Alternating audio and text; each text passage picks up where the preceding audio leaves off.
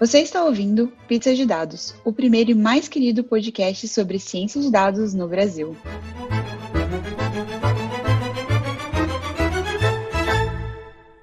Bem-vindos, pessoal! Esse é mais um Pizza de Dados. Eu sou a Letícia. Oi, eu sou a Yaso. Oi, eu sou a Jéssica. Estamos aqui juntas, três mulheres maravilhosas, para fazer mais um Pizza de Dados. Tô doida para começar, mas antes, pausa para os recadinhos.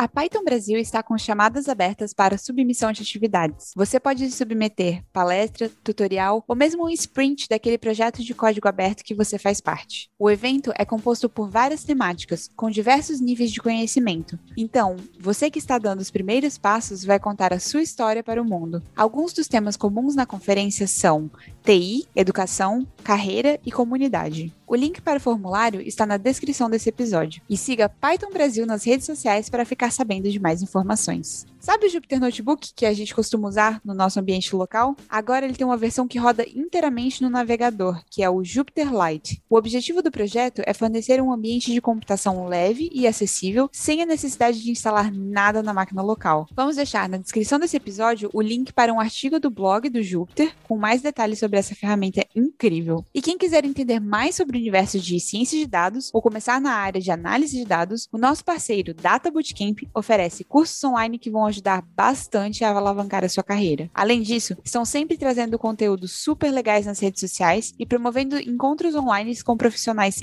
incríveis sobre diversos temas. Se você quiser ser avisada sobre a próxima turma, preencha o formulário que vamos deixar nos comentários desse episódio e siga Data Bootcamp BR nas redes.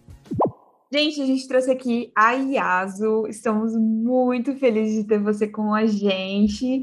Para quem não te conhece, se apresenta, quem você é, o que você faz e a sua pizza favorita. Eu vou começar pela pizza, porque eu tô com fome. A minha pizza favorita de todas, eternamente, é a pizza de palmito, com presunto parma e rúcula. Adoro rúcula. Eu acho que eu gosto mais Exótica. da rúcula do que da pizza. Pois é. é eu gosto mais da rúcula do que da pizza. Não, é nenhuma das duas opções. Ih, eu sou muito fresca com massa de pizza, eu, eu confio em poucas pessoas para fazer. Ou então eu faço a minha. Aí eu coloco o que eu quero, que é palmito, presunto parma, bastante azeite de oliva e rúcula. Perfeito. Pizza perfeita. Outro e eu, nível, né, minha é... gente? Gosto, quero é, experimentar. É boa, muito boa, muito boa. Eu sou membro do Conselho Consultivo de Segurança do TikTok, que é a minha posição mais recente, vamos dizer assim. Ela é, passa por cima né, passa por cima não, ela é em paralelo com a minha fellowship do West Center, que é um centro que fica na, na escola de governo de Harvard, a gente chama de Kennedy School, e, a, e é um centro, o West Center estuda democracia e inovação, e eu ganhei uma bolsa deles para fazer é, uma pesquisa com esse tema, democracia e inovação, junto com um mestrado, profissional, é, um mestrado sênior. Então, essas são as minhas duas posições mais atuais, vamos dizer assim. E estou sempre fazendo mil coisas, acho, desde o começo começo da minha carreira, né? Então, tem, eu sou conselho do Alliance AAA, que é uma aliança de mulheres na Europa e na América Latina para estudar algoritmos e dados. Fui fellow recentemente do Portland Institute, que estava estudando dados para inovação. Eu, esporadicamente, eu faço consultoria ainda para o Banco Mundial, é, especialmente, exclusivamente com relação a, a, governo, governança, como colocar a tecnologia dentro da governança, né? Então, é, software, software, software, dados, dados, dados e cidadania o tempo todo. E aí acho que é isso, né? Acho que sou uma orgulhosa mãe solteira, mãe de gatos. Também. Gente, quanta coisa, meu Deus, que legal. Conta um pouquinho pra gente como que você foi parar nessa área de, de cibersegurança, né, de políticas, como é, que, como é que foi sua trajetória? Porque você é formada em design, é certo? Sou formada em desenho industrial. Como é que você foi parar nessa, nessa área? Cara, na verdade, eu sou formada em desenho industrial por um acidente, acho, de percurso. Assim, eu, eu gosto muito de construir coisas e montar, desmontar tudo, né? E eu queria fazer mecatrônica, não passei no vestibular, era muito difícil. E aí eu falei, vou fazer desenho industrial e depois eu vejo. Depois eu faço robô, sei lá, do jeito. E aí acabei não fazendo depois mecatrônica, porque no meio disso tudo veio a web. Né? Eu formei em 2004 para 2005 e já fui chamada assim de cara, eu já sabia bastante sobre estrutura de dados na época, e eu mexia com Flash também, quando eu terminei a minha formatura, eu já fazia sites no, usando ActionScript, que ridículo, né? vovó da internet. Mas aí já me convidaram logo para tipo fazer o design inteiro, a UX inteira de uma agência de notícias estatal. E aí era uma agência de notícias do começo do governo Lula, cheio de galera de esquerda e tal também dentro da Rádio Braz, que tinha um legado do FHC, né, de direita, assim. E tinha muita coisa errada, né? Eu sou uma pessoa muito crítica, né? Aquelas virginiana, né, que é terrivelmente crítica, eu ficava, pô, dinheiro público indo pro ralo, né? E eu ainda por cima sou anarquista, né? Então eu ficava indignada, falava, caraca, velho, isso é dinheiro público jogado fora. Esses caras, nada do que eu falo, diferente do que eu falo hoje em dia, né? Esses caras jogando dinheiro fora, fazendo o sistema tudo errado. E para você ter uma ideia, a minha tarefa principal era meio que coordenar um time que estava transformando uma agência de notícias estática em uma agência de notícias dinâmica naquela época. Então, eram as pagininhas lá que o povo abria todo dia e, e mudava o HTML, e a gente ficou encarregado de construir essa agência que funcionava dinamicamente. E escolhemos para fazer tudo em software livre. Na época a gente escolheu o Zoopiplone, ó, que beleza. E aí foi isso. E naquela época eu também não sabia muito assim, mas fui aprendendo bastante de internet, né? Eu tinha, eu tinha uma experiência de trabalho grande com AutoCAD, desde que eu tinha 12 anos que eu fazia plantas no AutoCAD. Gostava muito, meu pai é engenheiro civil, então ele me botou para fazer esse trabalho. Para mim era tipo desenhar. E é engraçado porque o AutoCAD, ele usa, na verdade, o AutoLisp, né? Que é um flavor de Lisp. E o ambiente tinha um compiladorzinho. Então, naquela época, 12 anos, para mim parecia uma brincadeira, mas para eu ver uma estruturazinha assim, que eu tinha desenhado de uma maneira mais aceitável, era um trampo. Então, um pouco assim do princípio de tudo começou aí. Eu fiquei, para mim era muito fácil assim. E aí é engraçado, né, que hoje em dia depois eu fui para a web por causa disso, porque eu acabei mexendo com o portal de notícias. Era uma época que a gente estava falando muito de notícias cidadãs, era aquela época que a gente queria que o cidadão tirasse foto, mandasse para a redação. Pra vocês terem uma ideia, né? isso era novidade na época. E fazia galeria do leitor, as fotos da, da rua esburacada. Foi interessante. Eu acabei ganhando dois prêmios, Vladimir Zog, que é o maior prêmio de jornalismo direitos humanos do Brasil, junto com o time, né, fazendo trabalho sobre quilombolas e analfabetismo no Brasil. E aí, pô, foi massa. Tinha, a gente também escreveu vários infográficos, né? É, a Agência Brasil, que foi a agência que a gente trabalhava, foi a primeira agência a fazer infografia no Brasil. Antes do UOL, antes de todo mundo. Então, era a gente aqui e o Alberto Cairo fazendo deles na, no meu país, né? Então foi um momento muito muito legal, assim. Foi assim que eu comecei a misturar tudo. E, explica um pouquinho para quem não conhece, não conhece, o que, que é a infografia? É o mesmo que visualização de dados?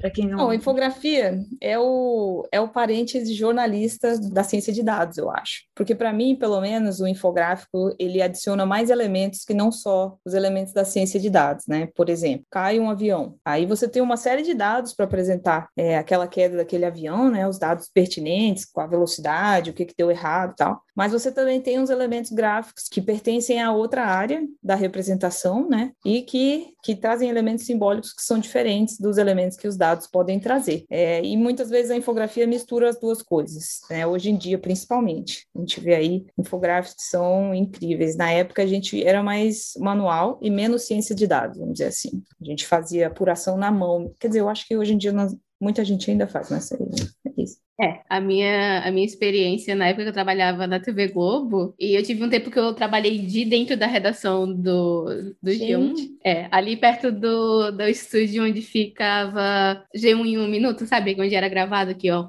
tinha o background para redação. Eu, às vezes a gente mandava print da tela. Olha, eu conheço esse cabelo, na época eu tinha cabelão ainda.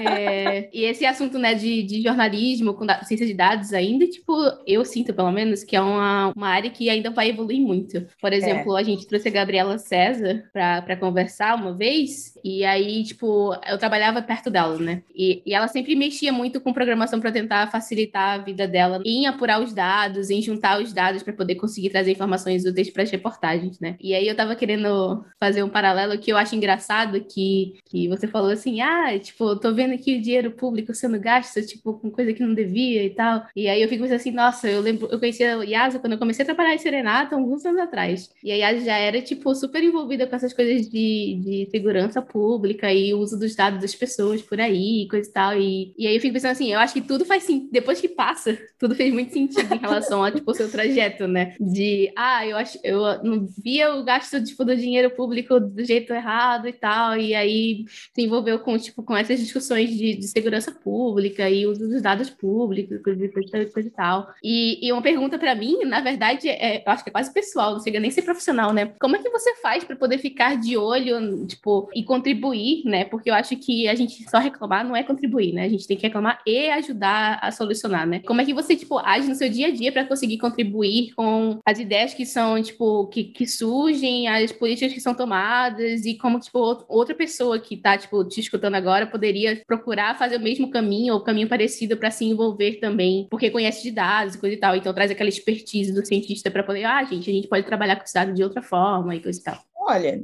como acho que eu comecei nesse rolê muito nova, para você ter uma ideia, eu estava dentro da redação fazendo infografia quando saiu a Lei Capiberibe, que foi aquela lei, a primeira lei que mandou botar PDF com as compras governamentais na internet, né? E eu já estava fazendo questão que essa lei saísse. Então eu acho que o meu papel sempre foi muito de procurar estar dentro do rolê, né? Eu sempre procurei catar o PDF na web, fazer o scraping, né? Hoje em dia não mais, mas assim, quando eu estava dentro do jornalismo jornalismo, esse era muito meu papel. Eu ficava sempre nessa busca. Eu acho que é um papel que todo mundo pode fazer. Hoje em dia tem muito mais informação disponível. Todo mundo pode buscar informações. Eu, eu acho incrível hoje que você pode entrar no site de um deputado e pegar quantas leis ele propôs, as emendas parlamentares, né? Então, eu acho isso muito legal. Eu lembro do esforço hercúleo que foi para uma galera da Transparência Hacker, que era um grupo de hackers que buscava dados sobre deputados em 2000 e, sei lá, 2010. É, velho. Essa galera fez uma vez um aplicativo usando o Shahid para localizar dentro de um mapa as emendas parlamentares do DF.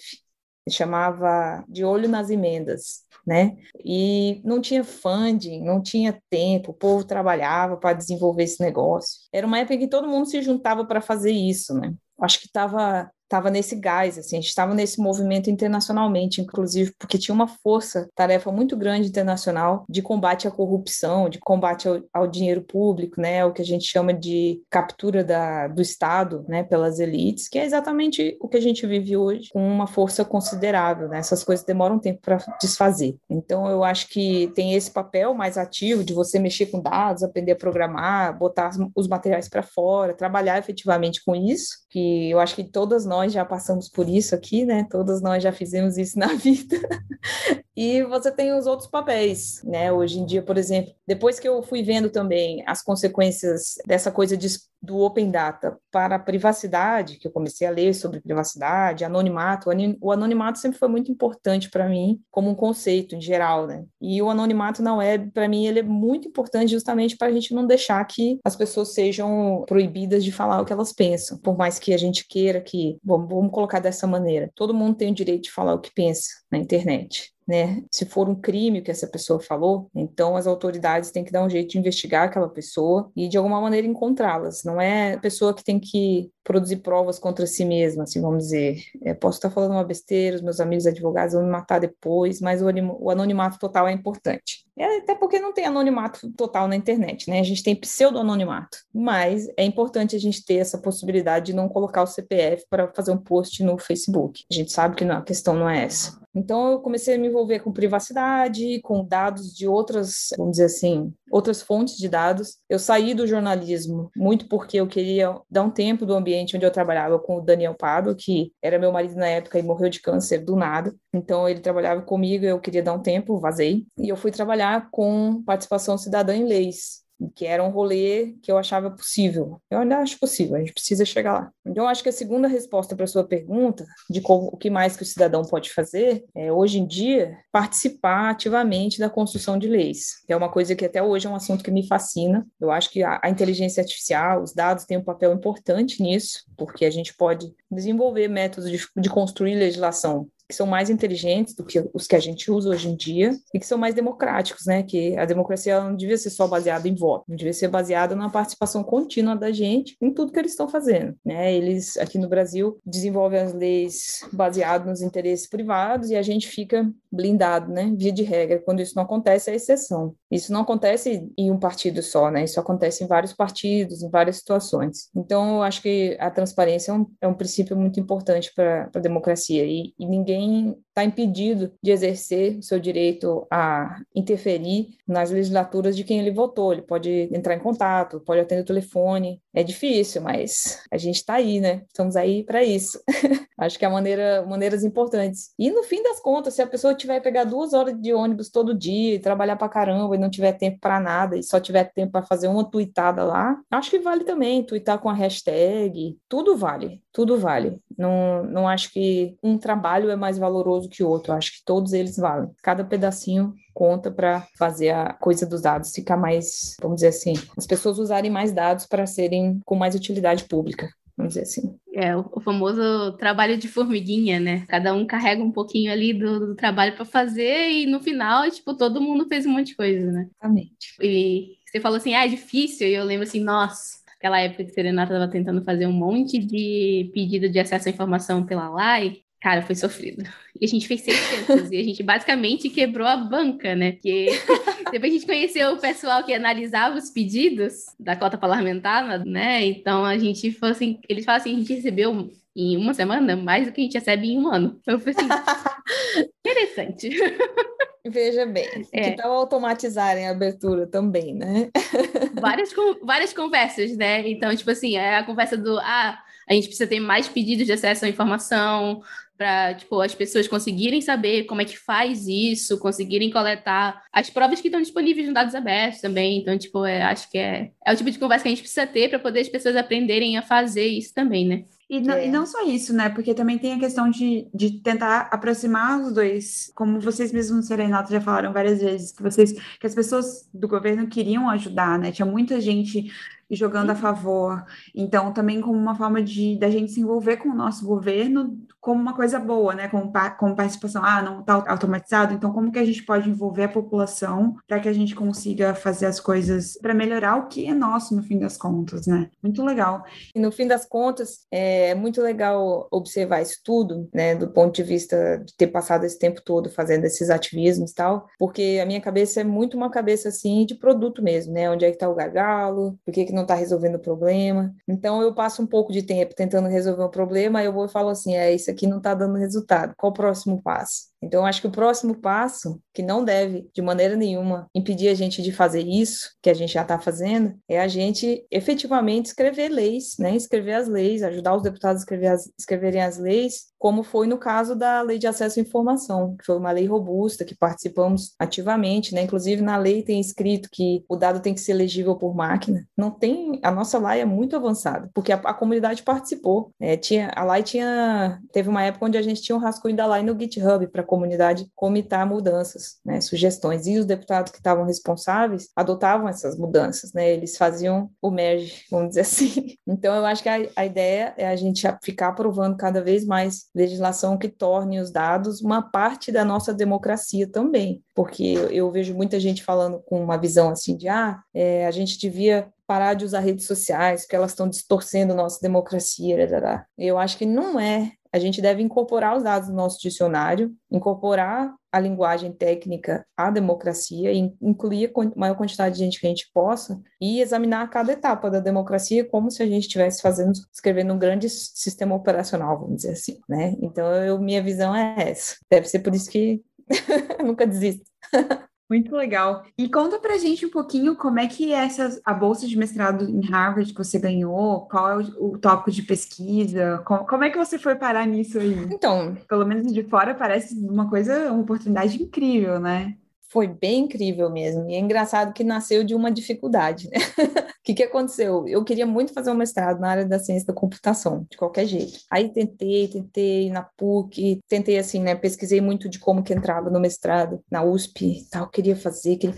na época que, né, eu queria muito. Eu parei de estudar porque tinha que trabalhar, né? Não sou herdeiro. E aí tinha que trabalhar e continuei trabalhando, minha ideia era fazer um mestrado, para poder depois fazer um PhD, tá, tá, tá, tá, tá, na época eu estava com essa ideia fixa. E aí eu tentei, tentei, dei com a cara na porta de professores que falaram: ah, você é do desenho industrial, você não, não tem nada que fazer aqui na ciência da computação, você está muito louca. É, se você quiser passar na prova, tem uma prova, né, para fazer o mestrado. Você tem que estudar essa pilha de livro aqui, eu duvido que você vai passar, porque é muito difícil. Você precisa de quatro anos de curso. Aí eu pô, fiquei infeliz, né? Falei, poxa, não vou conseguir estudar. Aí, no mesmo tempo, a gente teve a comemoração, acho que do aniversário de 25 anos da web, algo assim comemoração é em São Francisco, mas aí eu tinha uns amigos no MIT e tal, e dei um passeio, assim, pelo MIT. Falei, caraca, eu quero estudar aqui, né? Fiquei deslumbrada com aquele negócio. Falei, meu Deus do céu, quero, ter que estudar aqui, meu Deus do céu, meu Deus do céu. E aí eu apliquei para muita coisa. Eu apliquei para o MIT, Stanford, tá, tá, tá, tá. Várias negativas depois, aí eu consegui passar para duas. Uma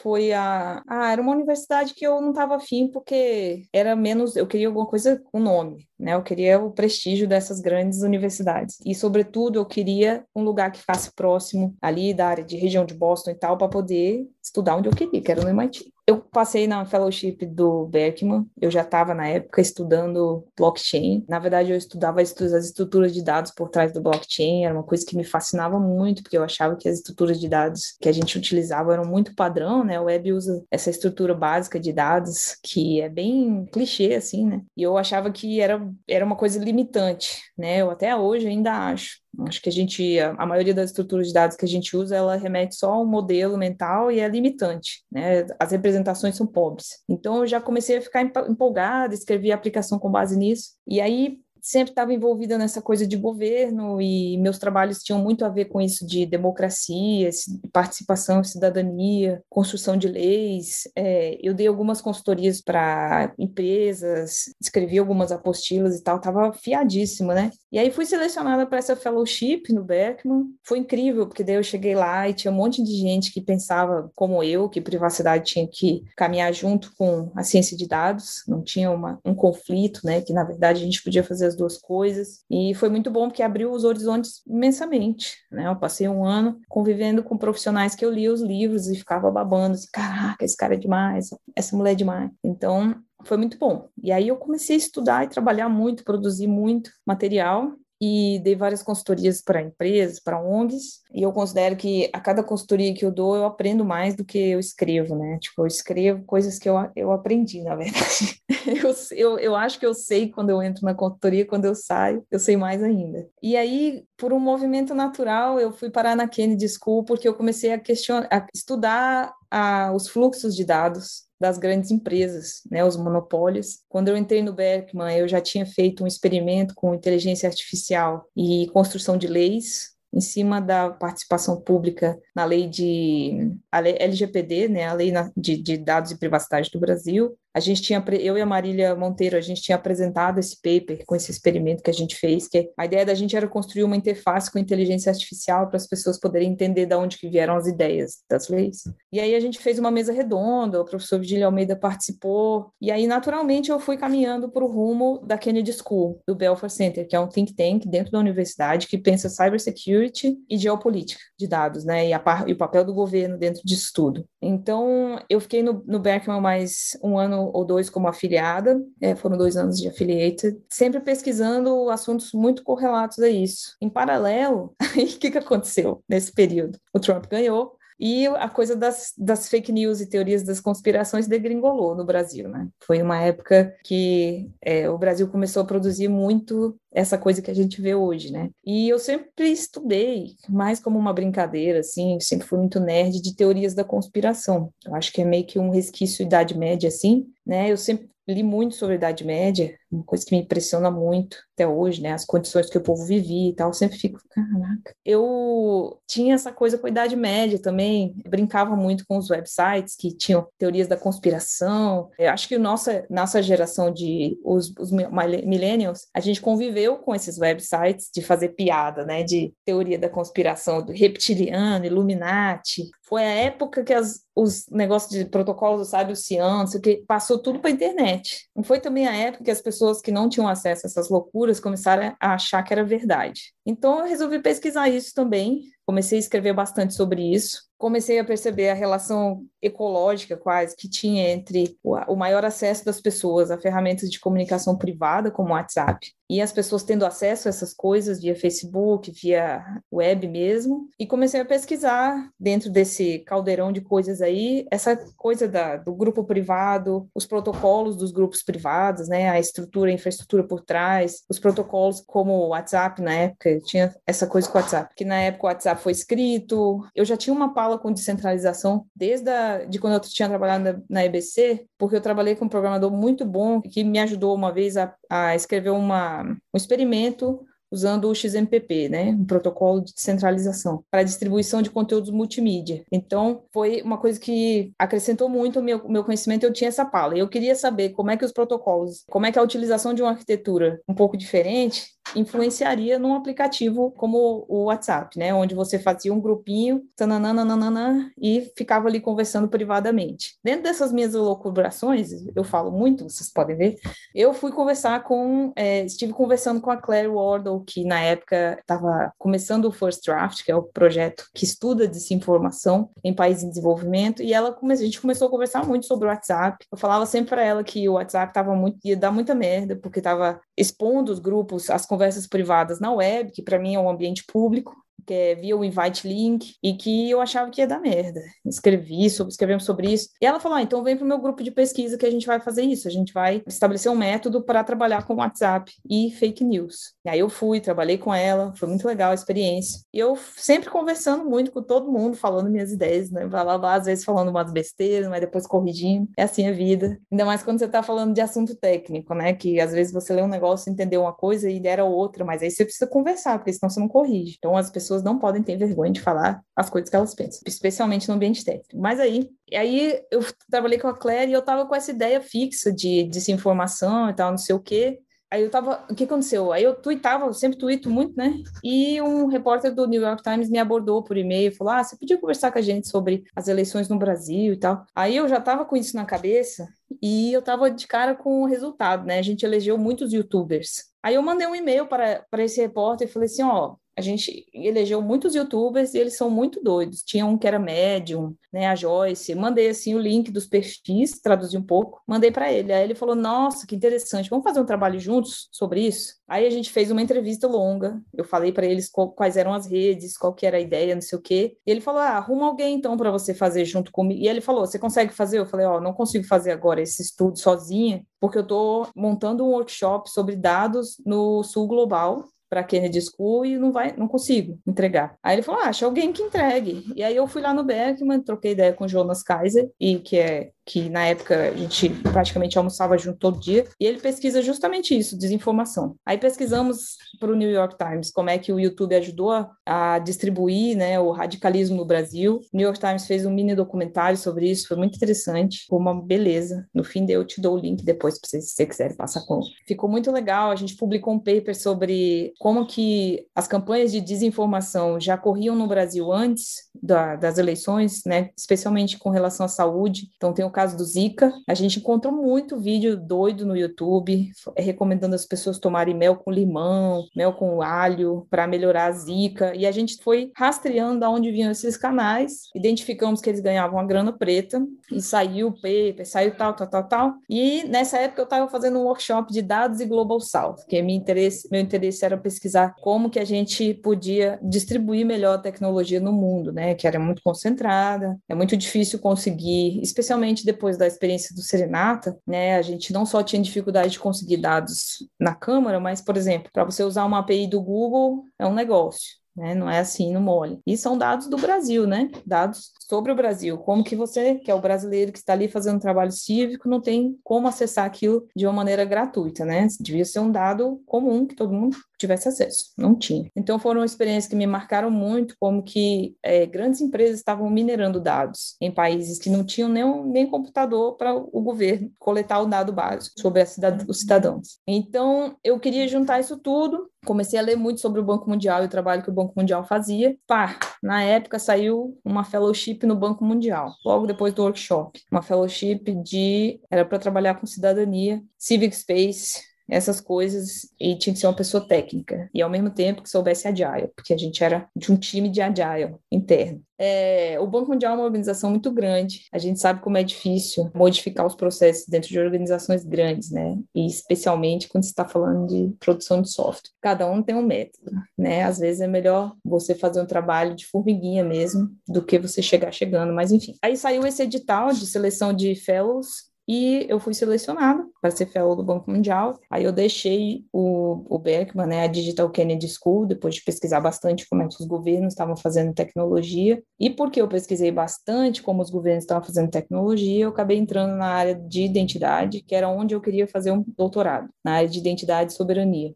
É, então, apresentei paper na Europa sobre isso, sobre identidade e cidadania. Eu escrevi sobre identidade do, os dados de identidade dos indígenas, várias paradas. Eu quero que você explique um pouquinho, se puder, para os nossos ouvintes, porque nem todo mundo está familiarizado com o que, que é privacidade e cidadania, o, o, o, que, que, o que, que isso significa, no fim das contas, de uma maneira um pouquinho mais próxima de quem. Porque tem muito ouvinte nosso que não, não nem trabalha com tecnologia. Então, se puder dar um, uma pequena explicação ia ser bem bom.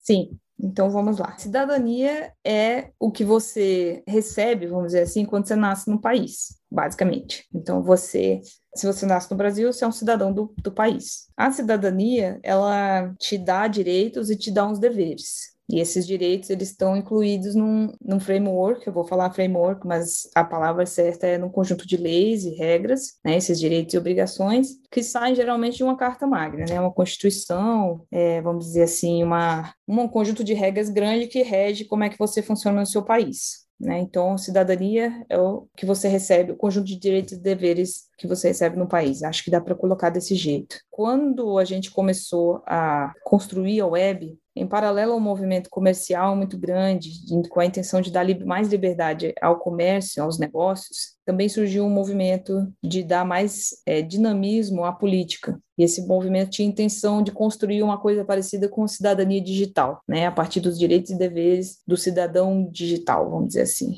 É, parece até meio cringe, não? falar cidadão digital, porque hoje em dia todo mundo é digital, mesmo que você não use smartphone, né? Porque os seus dados estão digitais, está todo mundo digital. Então, é, esse conceito de cidadania digital, ele se expande, né, para uma atuação do cidadão, uma atuação política do cidadão nas redes, né, ou, ou os seus direitos e deveres, não só nas redes sociais, mas em tudo. Dentro desse, desse novo conceito de cidadão digital, a gente tem três elementos que são muito importantes dentro da área de software para governos. Por quê? Porque o governo ele precisa ter o controle dos seus cidadãos. Controle no sentido assim, saber quantos tem, pelo menos, né? Por quê? Porque a gente tem fronteiras. Então, tem que controlar quem está dentro da fronteira para saber quem tem os direitos e quem tem os deveres. O conceito de fronteira é totalmente abstrato, tá? É um negócio que foi criado artificialmente, vamos dizer assim. E é muito parecido com o conceito criado pelo Facebook, de que você usa uma rede e você tem que ter uma outra rede que não conversa com ela. Por exemplo, você não pode twittar, conversar com ninguém do Facebook se você estiver no Twitter, né? Então, é uma fronteira digital, vamos dizer assim, também. Do mesmo jeito, a gente tem a identidade digital, que é um conjunto de características que te identifica para algum tipo de sistema. Então, por exemplo, se você quer tirar dinheiro no banco, tua identidade digital financeira vai lá e te diz quanto que tu tem, né? Uma máquina é um computador que guarda essa tua identidade. E a autenticação, que é o segundo conceito importante para a cidadania, que é o ato de ser autenticado no sistema. Vamos dizer, quando você entra no sistema, você põe sua senha, você está autenticado, né? Então, alguém tem que validar a sua identidade quando você é, está autenticado. Você só é autenticado quando você está validado, vamos dizer assim. E conectando os dois é o conceito de autorização, né? Quem geralmente dá autorização para tu estar tá logado em um sistema é o dono dele, né? No nosso caso, é o cidadão é o dono do sistema, mas o governo meio que faz a gestão dele. Então, o cidadão é o que dá autoriza, o governo é o que cria os processos para te autorizar a entrar no sistema para você ter acesso às suas identidades digitais de cidadão. É, acho que o, os conceitos são muito novos mesmo. É, acho que para quem eu estou nesse estudo desses conceitos tem muito tempo. Acho que são conceitos muito novos. A gente tem que se acostumar com eles. E muito obrigada por chamar minha atenção, porque eu fico falando como se tipo, todo mundo soubesse, né? Engraçado. Não, mas assim, é, eu faço isso com praticamente todos os episódios, porque acho que é uma parte do papel do Pizza é justamente ajudar. Tem muito ouvinte nosso que não tá na área e não tá nem na área de tecnologia, assim. Então, é bem importante pra gente, a gente, como educadora tecnológica, né, trazer sempre para esses conceitos para o público mais leigo, nesse caso também sou eu. Mas... Muito, muito legal. Eu só queria dizer que não precisa falar que você está falando muito, porque eu poderia ficar horas escutando aqui, tá? Eu só queria deixar claro isso. Eu, tô aqui, eu sempre fico preocupada. Sério. Não precisa que eu faça estar em casa. Aí eu perguntei a seguinte: você falou, né, do conceito de identidade, de autorização e tudo mais. Inclusive, eu acho muito legal porque eu entendo um pouco mais essas coisas hoje em dia por causa da empresa nova que eu tô trabalhando. Mas, assim, é engraçado porque as pessoas sempre falam assim: ah, mas os meus dados pessoais e coisa e toda. E aí entra naquelas conversas, tá? O quanto de dado seu eu preciso saber para tipo, te identificar no meio de uma coleção de pessoas que, em tese, são parecidas com vocês, moram na mesma fronteira que você e coisa e tal, né? E entra, tipo, num outro aspecto também da mesma conversa, que é, por exemplo, muita gente fala assim, ah, usa o CPF como identificador único de qualquer ser humano no Brasil ali, né? E aí eu fico naquelas coisas assim, puxa vida, todo esse, esse assunto, né, de, de os dados pessoais, de LGPD, dessas informações todas, são coisas muito complexas e coisas muito novas que a gente ainda está aprendendo a lidar, que a gente ainda não sabe lidar muito bem. Alguns outros países lidam melhor que a gente, outros nem tanto, e a gente está naquele meio do caminho tentando se achar também, porque às vezes o que funciona para um país não funciona para a gente, né? E aí, Yas? Total. Eu sei que você tem algumas opiniões para compartilhar, é, mas aí eu queria saber de você, assim, né? Como é que você, primeiro, identifica uma pessoa com um conjunto mínimo de informações necessário, considerando que às vezes, assim, você não precisa necessariamente saber tudo sobre aquela pessoa para saber quem é ela, e eu sei muito bem disso. E outra coisa, né? Qual que é o problema de usar o CPF CPF como identificador único de alguém. Vamos começar com primeiro como você identifica uma pessoa. Né? Eu gosto muito quando as pessoas falam assim: o dado é contextual, né? O dado pertence a um determinado contexto. Então, vou fazer uma metáfora um pouco talvez desastrada, mas um, um, dado é aquilo gerado em um momento único e tem um contexto único. Se você come um, um bolo de banana, ele é um bolo que você vai comer e ele acabou, não tem mais como você repetir aquele momento. O bolo acabou, ele se transformou em outra coisa e é isso. O dado é uma representação desses momentos. Então, por isso ele é tão contextual, ele depende tanto do contexto. Então, quando você fala assim, ah, vamos identificar essa pessoa, eu vou perguntar para você, para quê? Então, você quer comprar alguma coisa no Mercado Livre? Para que que você precisa saber o PIS-PASEP da pessoa? Para que, que você tem que ter acesso ao número da carteira de motorista daquela pessoa? Você não precisa. Você precisa saber o endereço da pessoa e você quer que aquela pessoa te pague, é, que ela tenha dinheiro na conta, né? O crédito no cartão ou dinheiro na conta. Então, essa é a premissa que eu utilizo para desenvolver todas as teorias que eu, que eu desenvolvo, que eu estudo, as coisas que eu estudo, de que os dados pessoais também são contextuais. vou no Tinder. No Tinder, talvez não seja uma boa coisa você botar seu nome verdadeiro. Ainda mais se o nome for, por exemplo, Yasodara, que só tem uma, né, em léguas. Então, de repente, você coloca o nome lá que não é seu nome verdadeiro, porque você está achando que você pode estar em um lugar é, onde você quer preservar um pouco mais a sua privacidade. Você quer entrar no Facebook. Você entrar no Facebook para escrever umas coisas. Você não necessariamente precisa. Você que tem que decidir se aquelas coisas serão relacionadas à sua personalidade, à sua pessoa fora do Facebook. É uma coisa que você que tem que decidir. É o cidadão, a pessoa, o usuário que decide, não é a empresa que decide, não é o governo que decide. É como se a pessoa decidisse uma roupa que ela vai usar, na minha opinião. Então, cada. Eu vou, vou acessar o ResearchGate. Eu só quero colocar lá minhas pesquisas, meu e-mail da universidade, fotinha e pronto, não precisa botar meu CPF lá. E assim vai. Então, eu acho que os conjuntos de dados, eles têm que ser melhor pensados. E isso conecta com a sua segunda pergunta do CPF. Por que o CPF não é um bom identificador? Bom, primeiro porque o CPF é um documento que está numa área cinza da legislação, né? Ninguém sabia se era público, se era privado, se era meu marromeno.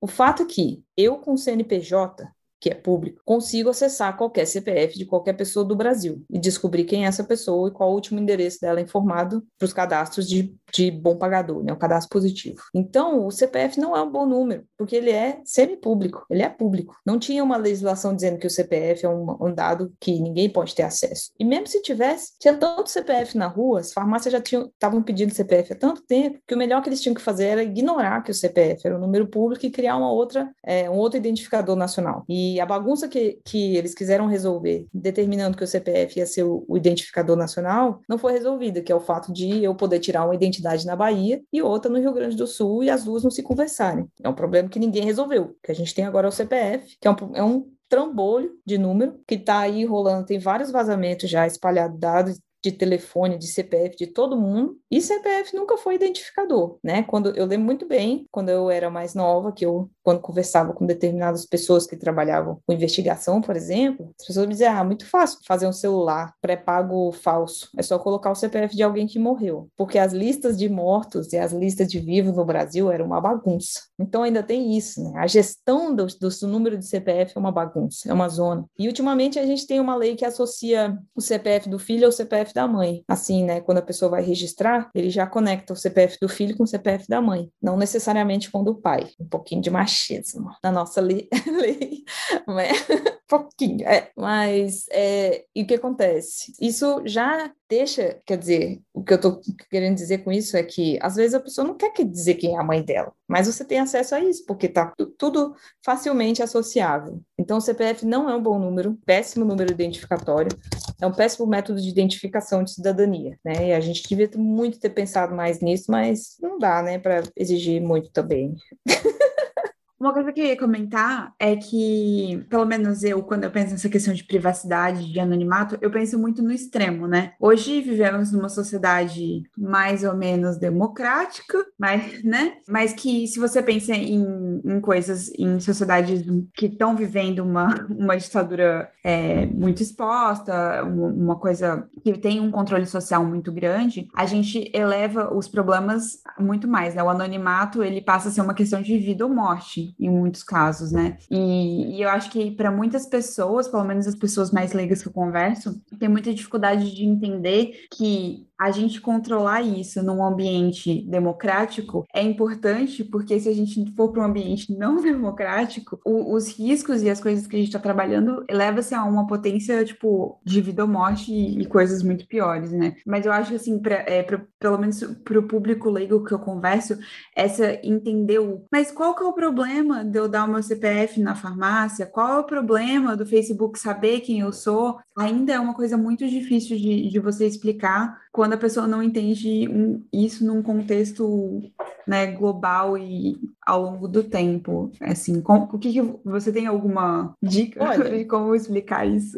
Quando eu, quando eu penso nessas coisas, né, nesse, nesse, nesse tipo de justificativa, eu sempre penso no absurdo, né? Eu sou uma pessoa que reduz muito o absurdo para poder explicar as coisas para as pessoas. Então, eu sempre me volto muito para os casos de feminicídio, homens que stalkeiam mulheres, mas não o cara que não tem dinheiro. Tô falando do cara muito poderoso. Por quê? Porque hoje em dia, se você tem muito dinheiro no Brasil, você consegue pagar o acesso à base de dados e descobrir onde essas pessoas estão, onde essas mulheres perseguidas estão, né? E isso piora muito numa ditadura. Você tem acesso aos dados das pessoas que estão mais vulneráveis, né? Então, se você, por exemplo, é uma pessoa LGBT e você esconde isso de alguém, de alguma maneira, e você tenta se esconder, se todos os seus dados, se você está identificado em todos os lugares, se você não pode usar apelidos para se, se expressar nas redes sociais, é, sua voz vai ser reprimida, vai ser fácil de te stalkear. A gente sabe que hoje em dia, se você é um empresário muito, muito rico, você pode subornar alguém para ter acesso aos dados da Receita, por exemplo, de uma pessoa. Ou você pode ser um grupo de procuradores que vai lá na Receita e pega os dados sem nem pedir pelo juiz, né? E acaba pegando os dados, os dados dados fiscais de muita gente sem pedir necessariamente o acesso. Isso aconteceu no Brasil, né? Um grupo de procuradores, que era amigo do amigo, foi lá e pediu os dados para o pessoal do COAF e conseguiu dados sem autorização do juiz, né? Que é uma tremenda inversão dos, dos valores democráticos, né? Digno de ditadura mesmo, assim, ditadura. Não vou nem citar nomes aqui de países, mas pense numa ditadura que faz isso. Então, o que eu sempre falo para as pessoas que me perguntam, ah, o que que tem? Fala assim, olha, no Brasil hoje a gente vive uma situação onde pessoas que são, vamos dizer assim, fáceis de, que são iguais umas às outras, elas são estão no banco de dados. Mas se você fizer uma coisinha diferente, vai levantar uma bandeirinha vermelha, vai ser flagueado, né? E aí você já é passivo de investigação. E uma investigação que não vai ter as salvaguardas democráticas, né, do, do direito à resposta. Você vai ser é, julgado de uma maneira injusta. Então, eu sempre falo da perseguição às mulheres, da perseguição ao público LGBTQ, porque para mim essa perseguição a esse público feminino e ao público LGBTQ, é uma perseguição que tem características não democráticas e nunca teve. Então, essas pessoas que sempre tiveram em desvantagem com relação a, ao poder, né? Então, quanto mais a gente conseguir resguardar os nossos dados, quanto mais a gente conseguir diminuir as possibilidades de acesso a esses dados, mais a gente vai estar protegido de ser um alvo. Aí a pessoa fala assim, ah, você é muito paranoica, só quantos descontos que eu tenho para comprar meu remédio na farmácia. Aí Bom, eu trabalho com tecnologia, né? Eu sempre falo para a pessoa, o que eu sei é, os dados que você coleta hoje, amanhã podem virar uma coisa completamente diferente do objetivo pelo qual eles foram coletados hoje. Se você está tomando uma vitamina C hoje, que você comprou na farmácia e você parou de comprar essa vitamina C e no futuro um plano de saúde comprar e disser que foi sua responsabilidade ficar doente porque você não tomou vitamina C e portanto ele não vai cobrir o seu plano, você não vai poder fazer muita coisa. Então, assim, eu entendo os dados como uma espécie de cofre. É, a gente deve guardar os dados numa espécie de cofre, né? Os dados são muito valiosos, dependendo do contexto. É, a gente nunca sabe o que vai acontecer amanhã. A tecnologia, toda semana, tem uma coisa nova. E essas coisas dependem de dados. Então, eu sempre penso nisso. Quando eu quero explicar, nunca convenço ninguém. Mas meu pai eu convenço. Ele não dá mais o CPF dele na farmácia. E eu acho que o pessoal que fica sendo incomodado por robô, né, essas ligações, depois que a gente tem muito dado do INSS rolando, né? Então o pessoal mais velho sofre muito assédio. Eu tenho visto aqui que os meus pais, né, eles reclamam muito, falam, ah, sempre ligação de fraude de São Paulo. A gente sabe que isso é total crime liberou, né, dados. Então, é, eu vejo assim que quando você sofre o primeiro golpe, você já fica mais ligado. eu, nossa, eu mudei para a Europa há dois anos e eu voltei para o Brasil por quatro meses e peguei um número do Brasil para poder, né, tipo, viver e me comunicar com as pessoas. E eu me esqueci da quantidade de ligações e textos e coisas que, que eu recebia o tempo inteiro, assim, foi, foi tão chocante perceber aquela situação e perceber, sabe, tipo, tudo que eu tava vivendo, e tipo, gente, não, não precisa se viver assim, sabe, eu não tenho que, não vou dizer nomes de operadoras, mas eu recebia três vezes por dia um, ligações automáticas de uma, de uma operadora que não era a que eu contratei, para tentar, tentar me convencer a mudar. E eu tava com um plano temporário, era um troço tipo três meses, um negócio que nem existia direito, ninguém conhecia. Então, assim, foi uma coisa muito desesperadora ver isso. Tipo, gente, não é possível, sabe? É, exatamente.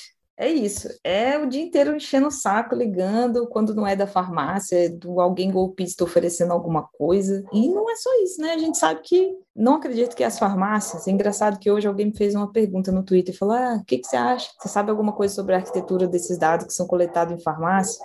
Até onde eu sei, da minha experiência, deve ser uma fuleiragem, né? Deve ser tipo uma cloud fuleira. Por quê? Porque a farmácia, o, o, main business da farmácia, né? O negócio principal da farmácia não é dados, é vender remédio. Então deve ser tudo mal cuidado, deve ser um negócio bem fuleiro. Mas a gente sabe que tem como construir perfil de compra. Esses perfis muito loucos vão começar a surgir em outros contextos, não só no contexto de business. Então, eu me preocupo com o Brasil.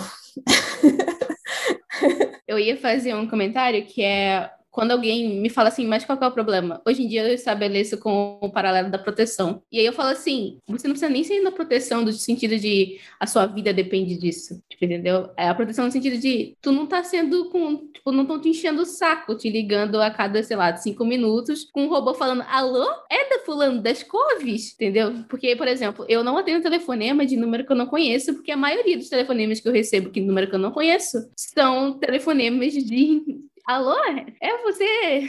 assim, te roubou, entendeu? Eu, eu quero meu novo toque de celular, Jéssica falando, alô, é do fulano das couves? Vai ter meu novo toque de celular. Baby Lenial que, que sou, vou mudar o meu toque de celular para... o meu celular nem toca, ele vive no silencioso. Então, tipo assim, quando eu vejo que tem alguém ligando, é raro. Começa por aí. Pode ser o, Mas... o alerta do Pager Duty.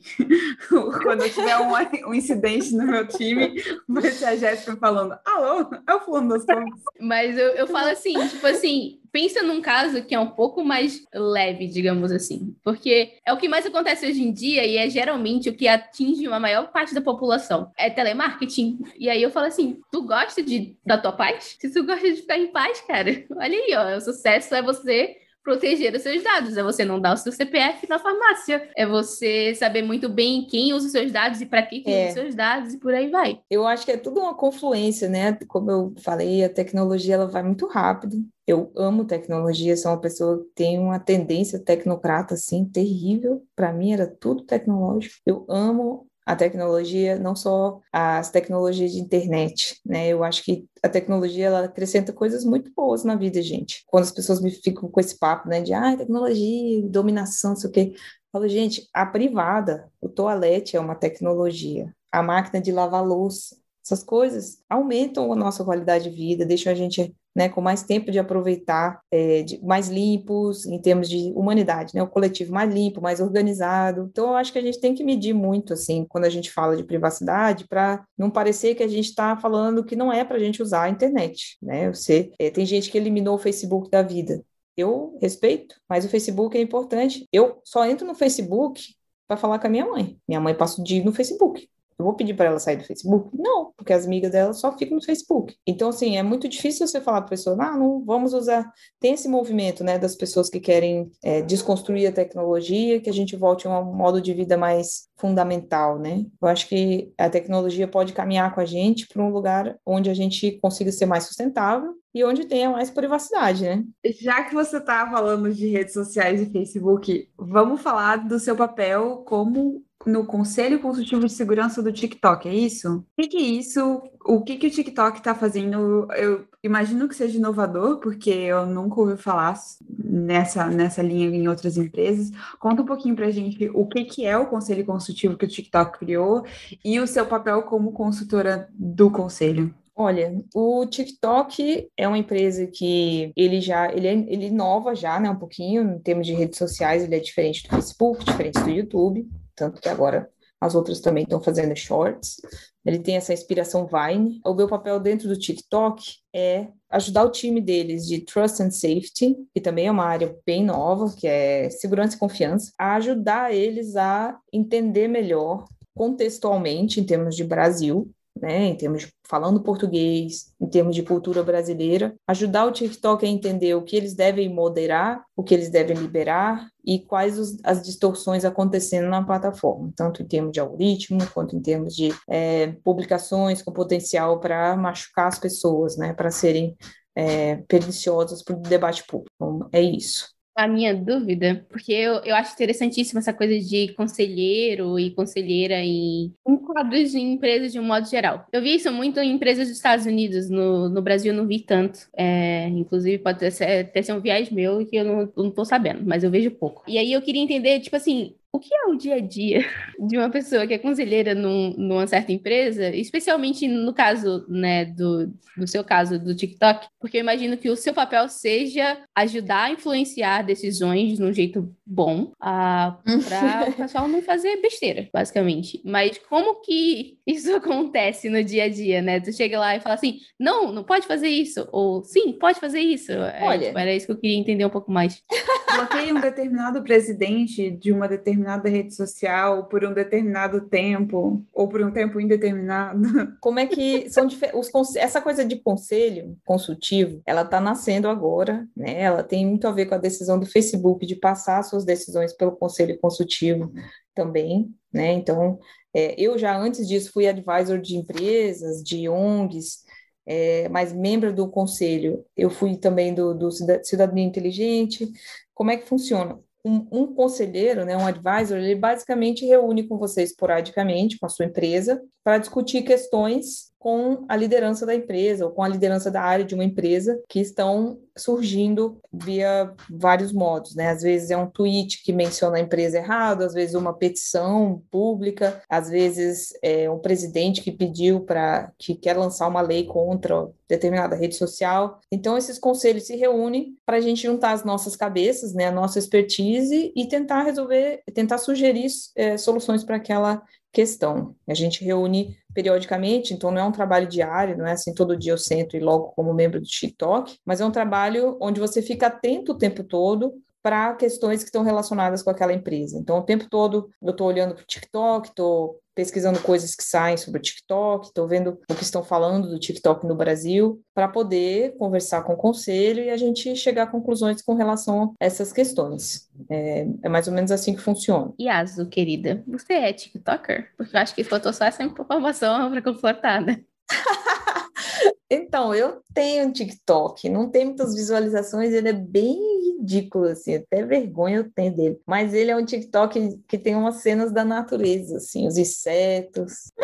Eu só tenho nove seguidores, é ridículo. Mas eu olho TikTok quase todo dia, porque tem umas coisas que eu acho muito engraçadas. Especialmente as pessoas imitando mães com toalha na cabeça. Assim, eu me acabo de rir. Então fica aí a dica para quem escuta o Pizza e é TikTok. Ai, aproveita para seguir é, casa, Nossa, só tem vídeo besta. ai, ai.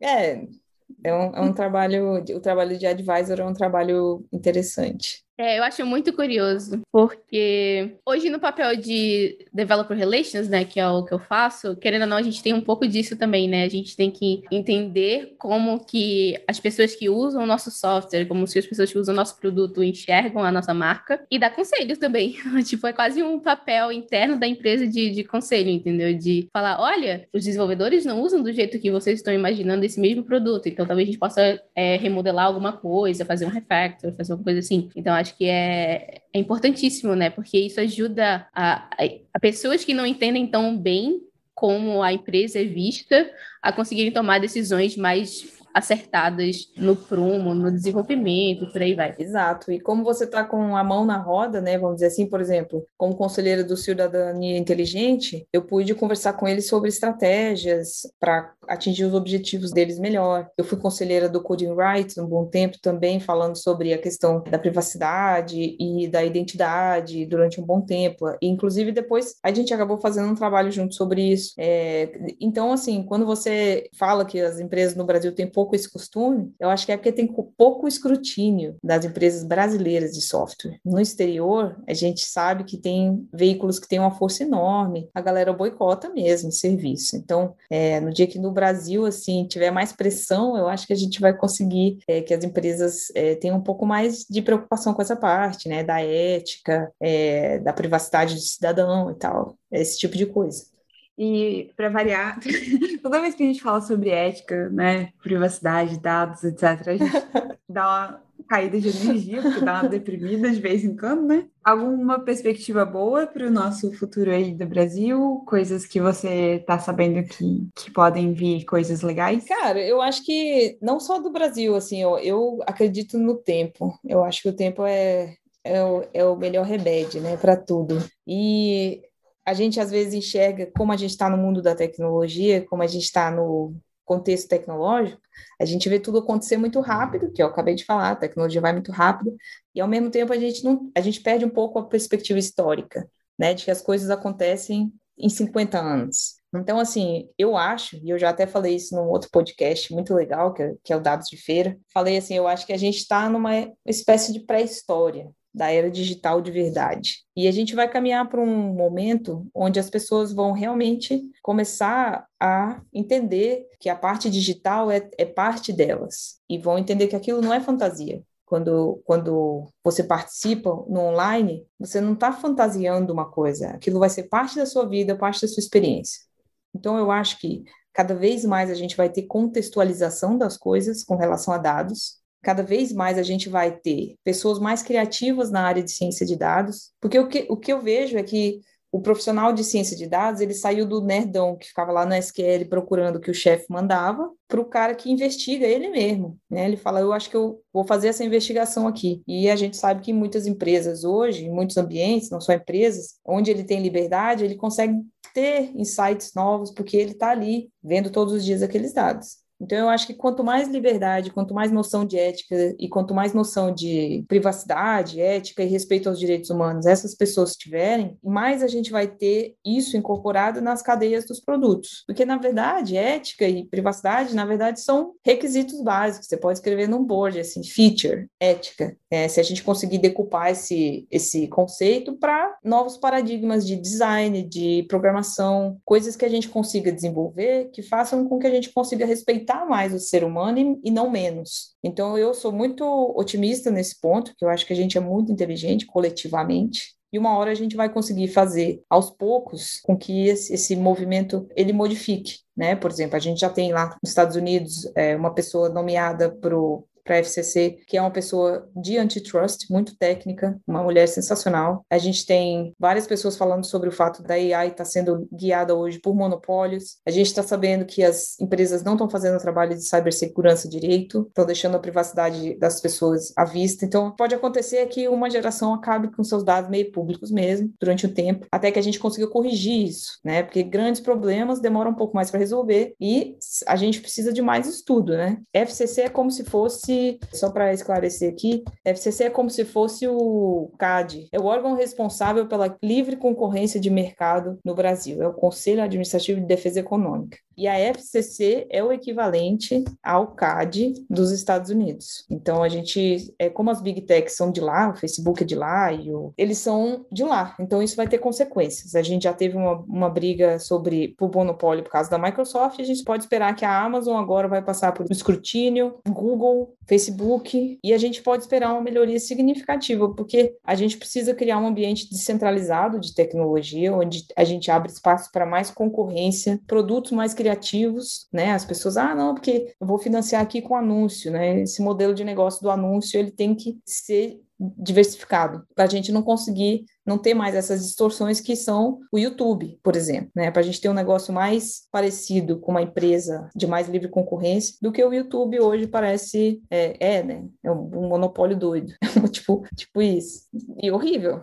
E horrível, né? Porque você, como usuário gratuito, você simplesmente não consegue ver é, um vídeo. Então, a gente hoje. perdeu o controle, né? Então, nem tanto nem tanto a gente lá assistindo aqueles videozinhos que a gente tinha acesso com os nossos assinantes da família, né? Eu gosto muito, às vezes, que me recomendem coisas, mas nem tanto me recomendando vídeos, né? Sei lá, do, do que, que o YouTube todo dia me recomenda uma doideira. Outro dia foi aquele povo que faz música naquelas panelinhas, sabe, virada ao contrário, que faz tan, tan, tan, tan, tan. Eu falei, YouTube, da onde você tirou isso? Então, eu acho que as pessoas vão querer mais controle.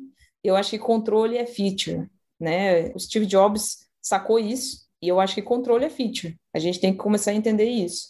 Ética é feature, privacidade é feature, controle é feature. É uma coisa que o mundo do software vai entender. E um, em breve, democracia, controle democrático e transparência vai ser feature também. Então, eu, eu sou otimista. Você falar assim, ah, mas e o Brasil? Específico, e o Brasil. Aí já fica mais difícil da opinião. Tudo bem, a gente não precisa entrar nesse ponto. Não, eu super me identifico com você, assim, eu tenho um negócio que na oceanografia, quando eu aprendi o conceito de onda, uma onda, foi uma coisa que me, eu, tipo, todas as metáforas me vem o conceito de onda, que é uma perturbação que gera, né, um movimento para uma direção, e aí esse movimento tenta ser corrigido, e aí ele passa, mas ele perde um pouquinho de força. Daí ele se autocorrige de novo, mas passa do centro, mas perde um pouquinho de força. Então ele vai fazendo esse, esse movimento ondular até um momento em que, que o atrito, né, ou a gravidade, ou qualquer força que seja, vira estático de novo, né? Aquela perturbação deixa de existir. E aí tudo que me vem dessa questão nova, que é sempre uma perturbação que leva para um lado, aí você tenta corrigir, aí você vai demais, e você vai tendo esse movimento de, de ondulação até que as coisas começam a se estabilizar dentro de, um, Exatamente. de uma norma, vamos dizer assim. E eu vejo isso muito, né? As coisas são muito retentes. Se você parar para pensar, vou, vou falar a minha idade aqui, mas eu lembro no meu primeiro ano de faculdade, em 2008, 2008, um amigo meu trouxe um celular com internet dos Estados Unidos. Ele tava me mostrando o que era o Google. Tipo, olha, eu consigo acessar o Google do meu celular. E eu falei, pra quê? Tem meu computador aqui? Pra quê? Isso, assim, primeiro ano da minha faculdade. É, e hoje a gente, né, celular, qualquer coisa, né? computador, relógio, tipo, qualquer coisa, né? Tudo conectado. E no grande esquema das coisas, a gente está passando por uma mudança que a gente a nossa sensação é. é. um pedaço muito pequeno da história, né? Agora, eu quero o livro sobre a lei agora. Eu quero o livro para saber a história de uma lei que foi feita no GitHub e que os deputados estavam envolvidos, sério. Curiosamente, quando eu fazia parte do Serenata, né? Por exemplo, o pessoal que faz a API de dados abertos da CEAP tem repositório no GitHub para é, fazer acompanhamento de problemas, defeitos, dificuldades ou tipo, indisponibilidade. Eu abri isso lá falando, olha, acho que a API tá fora do ar uma vez, entendeu? Então, tipo assim, eu acredito que as pessoas reconhecem o valor da contribuição que a sociedade pode fazer para o trabalho delas, enquanto pessoas que trabalham no governo e, assim, não necessariamente, né, deputados e tal, mas as pessoas que são concursadas e estão ali tentando fazer o seu, seu melhor para poder melhorar o nosso país, né? É, então, tipo assim, eu acho que cabe mais a gente, assim, tentar entender como que as, as organizações governamentais estão se comportando, como você consegue encontrar e passar a sua opinião ou a sua expertise para elas, porque ela tem muita abertura, assim. É, pelo menos foi o que eu senti Sim. com o Serenata. É, né? Na época que a gente trabalhava com dados abertos juntos, né? Eu trabalhava de voluntária, tinha o Terrac Day e tal. A gente tinha uma força-tarefa dentro do Ministério do Planejamento composta de exatamente três pessoas. Então, eu acho que, por quê? Porque o poder público precisa também entender a importância, entender que essas pessoas que abrem o GitHub, né, para a gente fazer comentário das issues lá da, das coisas públicas, essas pessoas são importantes para a administração. Esse é o perfil que a gente quer que trabalhe na administração. A gente quer que as pessoas sejam atualizadas e aprendam a fazer isso. Infelizmente, agora voltando para a pergunta da Letícia, infelizmente, Letícia, esse movimento é, a criação da LAI, vamos dizer assim, como todo movimento hacker, né, vamos dizer assim, o Anon e LUSEG, todos eles são movimentos que foram nasceram e sumiram. É quase como zonas autônomas temporárias. A parte que foi escrita da história, infelizmente, foi escrita pelos advogados que participaram, pelos sociólogos que estavam lá. Mas os hackers mesmo fechou o repositório e foram embora. Então, essa história, ela, ela a gente conhece porque a gente estava lá, mas ninguém nunca escreveu livro sobre isso. E hoje em dia está todo mundo pagando boleto, fazendo outros rolês, fazendo outros repositórios. Tem muita menção a isso no, em, em teses de, do, de mestrado, doutorado, de pessoas pessoas que são da ciência política e estavam fazendo mestrado naquela época. Mas não tem, assim, exatamente um livro contando essa visão da história, infelizmente. Eu mesmo já tentei escrever, mas aí eu fico com medo de ficar naquele papel de avovozinha que fica escrevendo do passado, sabe? Que é um papel que eu não quero fazer ainda. Talvez quando eu tiver 60 anos, 70, 80, né? Eu tô mais procurando fazer mais coisas ainda.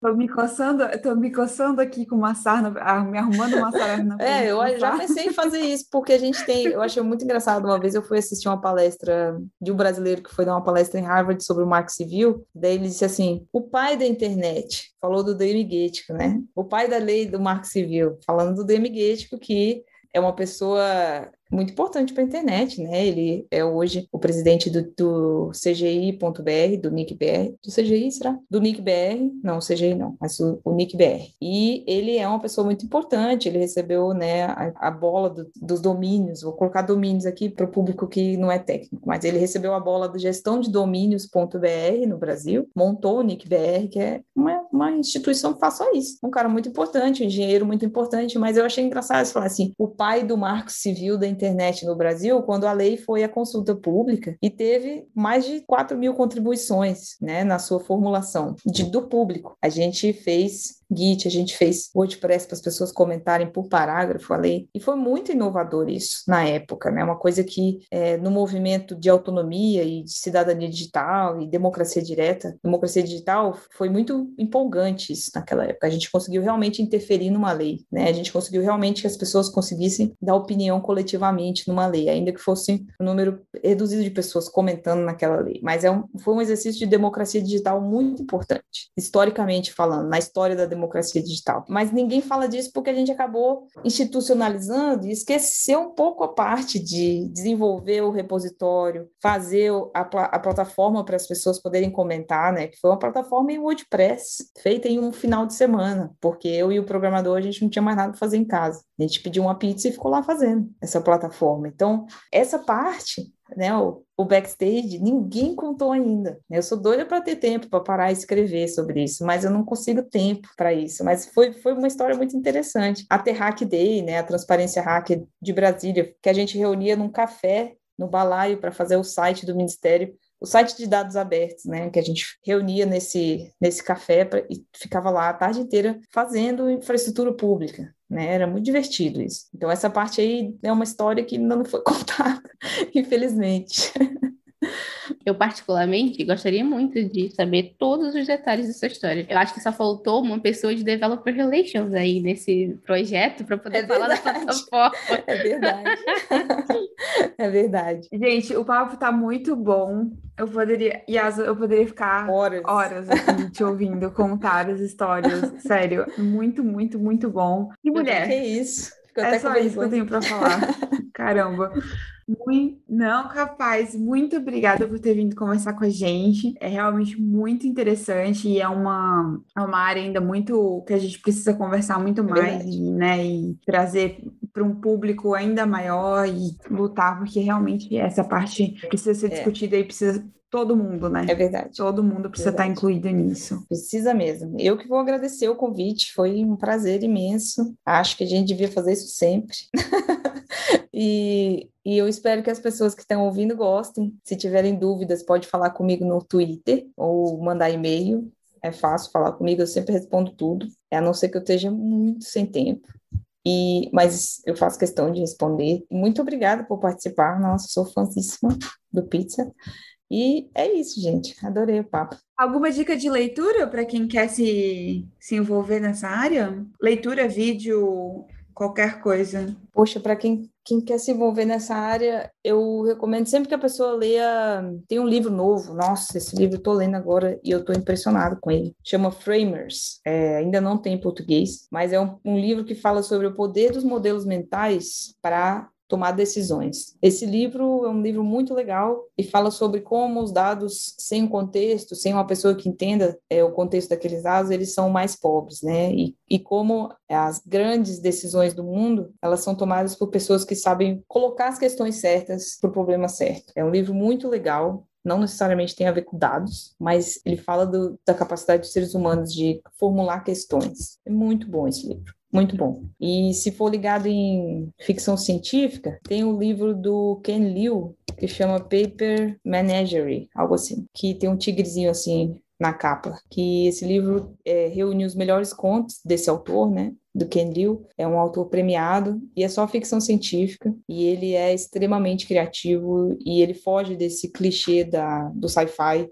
que a gente está acostumado, onde tem um robô que mata todo mundo. É, tem vários contos legais e vários contos interessantes que vocês eu recomendo porque são completamente fora da casinha, muito legal. Estávamos todos aqui anotando freneticamente as, as dicas. Eu já eu mando para vocês. Esse do esse Framers eu ainda não terminei. Ai, Puta livro, sensacional. Já tá recomendando. Eu adoro livro assim, que você não chega nem na metade, você já tá recomendando, que você fala, cara, é, é muito bom. Yasa, muito, muito obrigada. Queremos te receber de novo aqui. Então, sempre que quiser bater um papo com a gente, volte. E é isso aí. Pô, a gente já podia deixar marcado um papo sobre usos alterna... de dados alternativos. Deixaremos. Então, fica aí dica para o pessoal que está ouvindo: uso de dados alternativos. Então é isso aí, espero que vocês tenham gostado. Esse foi mais um Pizza de Dados. Tchau, até a próxima. Tchau. Tchau, gente. Beijo, beijo.